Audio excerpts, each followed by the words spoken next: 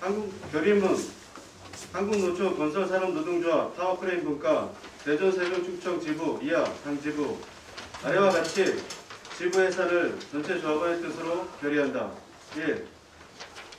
당 지부는 조합원의 생활권보다 조직의 안위를 우선시하는 상급 조직의 행보를 더 이상 따를 수 없음을 결의한다. 2.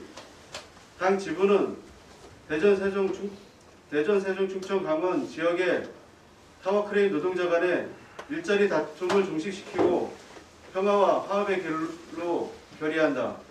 3.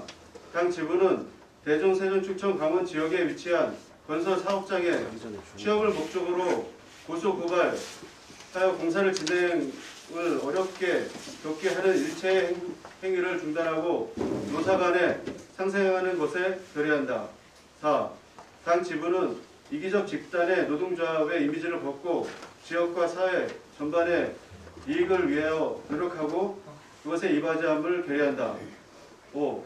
당 지부는 노동조합의 기능을 이미 상실하였고 조합원은 더 나은 삶을 영위할 수 없는 지경에 이르렀음을 알게 되었다. 이제 더 이상 정상적인 노동조합 활동을 활동으로 취업할 수 없고 노동조합을 하면 할수록 피폐한 삶이 가중된다.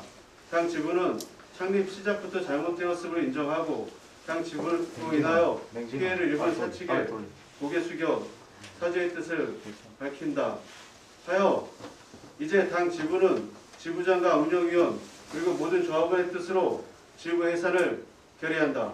2021년 5월 2일 한국노총 건설 전국 건설산업노동조합 타워크레인 분과 대전 세종 충청 강원 지부 조합원 일동